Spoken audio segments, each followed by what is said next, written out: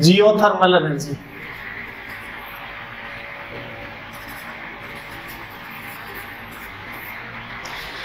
देखो geothermal energy क्या होती है? अर्थ का जो सरफेस है, उससे जब हम ऊपर की तरफ़ जाते हैं एटमॉस्फेयर में तो पर 165 metre one degree temperature decreases होता है। यानी हर 165 मीटर पे वन डिग्री टेम्परेचर डिक्रीज होता है। ये फिक्स है। ऐसे ही जब हम अर्थ के इंटीरियर में डेप्थ में जाते हैं तो क्या होता है? पर 32 मीटर पे वन डिग्री टेम्परेचर बढ़ता है। इट मीन्स अर्थ के जब नीचे की तरफ़ जाते हैं डेप्थ की तरफ़ जाते हैं, तब तो टेम्परेचर इंक्रीज होता है।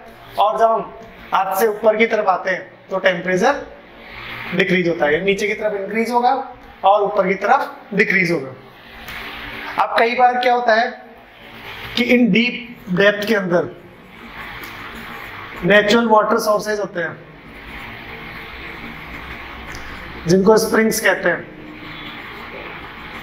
वो उस हीट की वजह से जियोथर्मल एनर्जी की वजह से उनसे गर्म पानी निकलता है, यानी हॉट वाटर बाहर की तरफ़ निकलता है, जिनको क्या कहा जाता है? हॉट स्प्रिंग्स क्या कहा जाता है? हॉट स्प्रिंग्स अब ये हॉट स्प्रिंग्स कई जगह मिलते हैं, अपने को लोकली अवेलेबल होते हैं। जैसे अपने पास में भी एक जगह है, गणेश्वर। वहाँ पर ऐसा एक हॉट स्प्रिंग है, जिससे गर्म पानी निकलता है और उसको यूज़ वहाँ के लोग पीने में और बाथिंग वगैरह इन सब पर्पज में यूज़ करते हैं।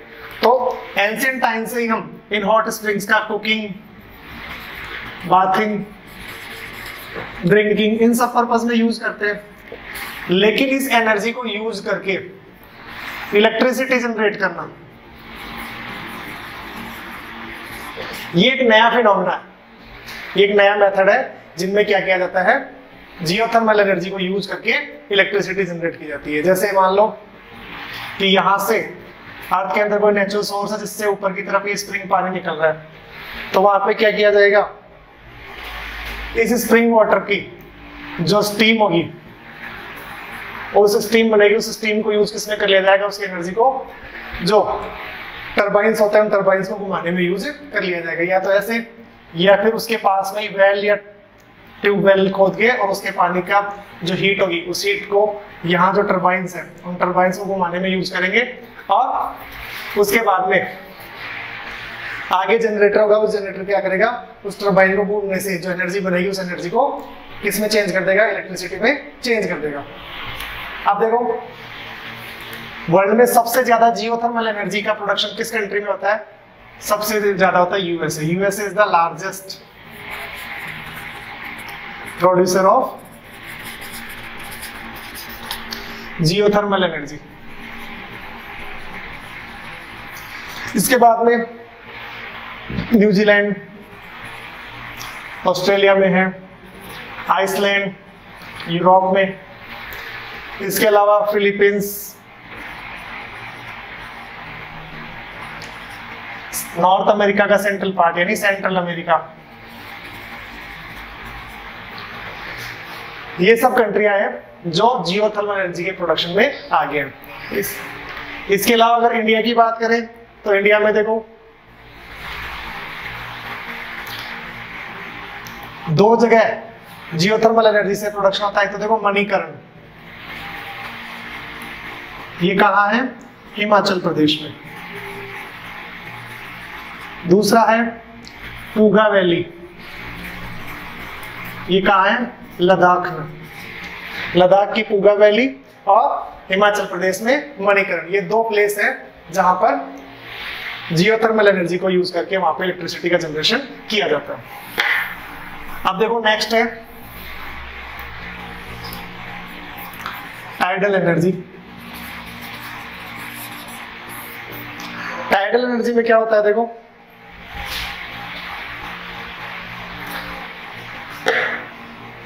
जैसे ये सी पार्ट है। सी पार्ट में क्या होता है? टाइड्स आते हैं। टाइड्स मतलब ज्वार। जब टाइड्स आते हैं तो क्या होता है? सी का पानी आगे की तरफ़, कोस से आगे की तरफ़ ऊपर चढ़ता है ऐसे। तो कोस से जब आगे की तरफ़ चढ़ेगा तो क्या करता है? उसके सामने कुछ इस तरीके से। इस तरीके से उसके सामने वॉल्स बना ली जाएगी। ठीक है? और उनमें होल छोड़ दी जाएँगे ऐसे होल्स अब इन होल से क्या होगा? इन होल से पानी निकलता हुआ इधर की तरफ़ आ जाएगा। दूसरी तरफ़। दूसरी तरफ़ इकट्ठा हो जाएगा, भर जाएगा यहाँ पे पानी। तो इन होल्स को क्या कर देंगे? बंद कर देंगे। ठीक है? बंद करने के बाद में जब टाइड्स वापस जाएँगी तो सी का पानी वापस पीछे की तरफ़ जाएगा। लेकिन ये पानी यहीं पे फिल हुआ रह जाएगा। फिर इन होल्स के अंदर क्या होता है? टर्बाइंस होते हैं। टर्बाइंस किसको कहते हैं? इस तरीके के। ऐसे ब्लेड लगी हुई स्ट्रक्चर्स होती हैं, ऐसे लंबी भी होती हैं, इन पर यूँ ब्लेड्स लगी होती हैं, या फिर ऐसे फ़ैन जैसे ब्लेड भी होती है बड़ी बड़ी इस तरह के टर्बाइंस इन हॉल्स में लगे होते हैं। अब देखो, जैसे ही ये सी का पानी पीछे जाएगा तो इधर भरे हुए पानी को क्या करेंगे? फिर इन हॉल्स की तरफ़ से रिलीज़ करेंगे। अब इन होल की तरफ़ से वापस वैकेसी की तरफ़ पानी आएगा तो इन हॉल्स में जो टर्बाइन लगे हुए वो टर्बाइन क्या होंगे? घूमेंगे। और घूमने से क्या होगा उन टर्बाइंस के? उन टर्बाइंस के घूमने से इनमें एनर्जी जनरेट होगी और उस एनर्जी को क्या कर लिया जाएगा? इलेक्ट्रिसिटी में कन्वर्ट कर लिया जाएगा। ठीक है? आप देखो कहाँ कहाँ है वर्ल्ड के अंदर देखो, सबसे ज़्यादा यूज़ करता है रशिया। इसके अलावा फ्रांस। और इंडिया में कहाँ पे लगी हुई इस तरह की मिल्स देखो? कच्छ में। कच्छ का है? गुजरात में। कभी आपने देखा हो तो साउथ की तरफ़ से इंडिया कुछ इस तरीके से है। तो ये वाला जो एरिया है, यहाँ पे सी है, ये गुजरात है तो गुजरात में ये वाला एरिया कच्छ है, यहाँ पर इस तरह की टाइड मिल्स लगी हुई है। अब देखो लास्ट अपना टॉपिक बचता है बायोगैस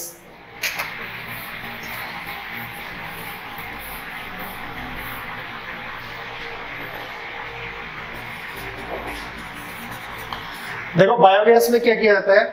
जो बायोडिग्रेडेबल वेस्ट होती है। इसके अंदर एनिमल्स की वेस्ट आ जाएगी, एग्रीकल्चर वेस्ट आ जाएगी,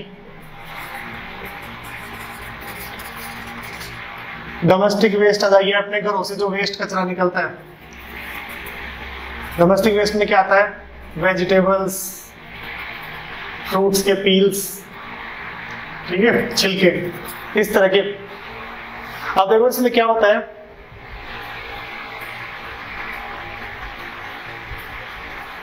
इस तरीके से एक अंडरग्राउंड गैस टैंक बनाया जाता है। उस टैंक के इधर की तरफ़।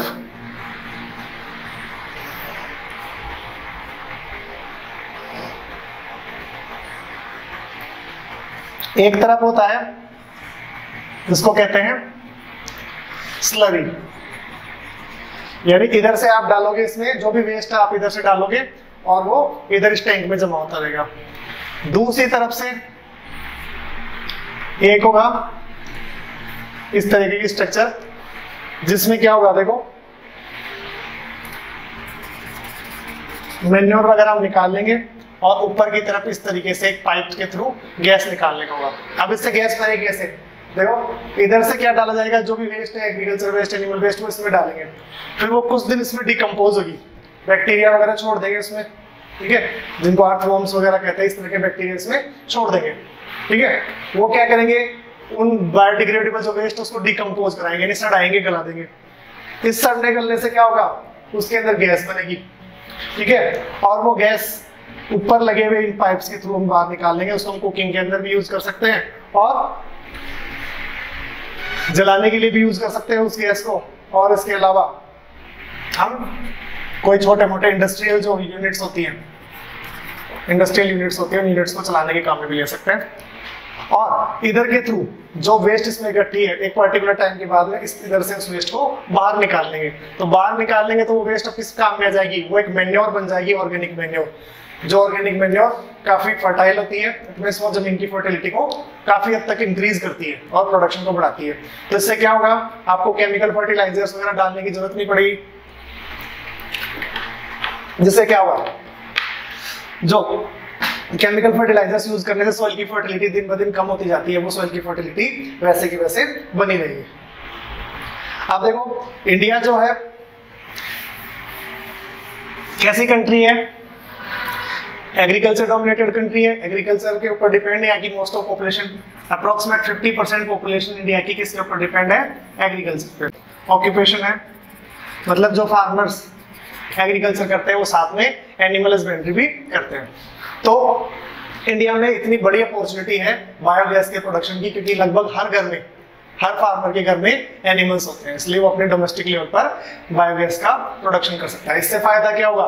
फ़ायदा ये होगा, जो नेचुरल गैस के ऊपर डिपेंड है, जो नॉन रिन्यूएबल है एक्सपेंसिव है, इसके कोई पैसे नहीं लगे इसकी सिर्फ़ इंस्टॉलिंग कॉस्ट है। उसके बाद में इसको मेंटेन करने की कोई कॉस्ट नहीं है। आपका काफ़ी पैसा जो मेन्योर पे खर्च करते हैं, वो बच जाता है। आपको एक बेस्ट क्वालिटी की ऑर्गेनिक मेन्योर मिल जाती है इससे। इसके अलावा आपका जो डेली फ्यूल नीड्स है, वो पूरा जाती है। और उसके अलावा जो घर से जो वेस्ट निकलता है, उसको डंप करने का जो प्रॉब्लम है, वो भी दूर हो जाती है। तो इंडिया में इसके अपॉर्चुनिटी ज़्यादा है। इसको रूरल लेवल पर गवर्नमेंट भी क्या करिए प्रमोट करिए। ऐसे इसके पर्टिकुलर बड़े बड़े प्लांट्स नहीं है, कि गवर्नमेंट बड़े लेवल पर भी बायोगैस प्रोड्यूस करके फिर सप्लाई करिए इसका डोमेस्टिक लेवल पर ही प्रोडक्शन पॉसिबल है। तो आज का हमारा topic non renewable energy resources यहाँ पे खत्म हुआ।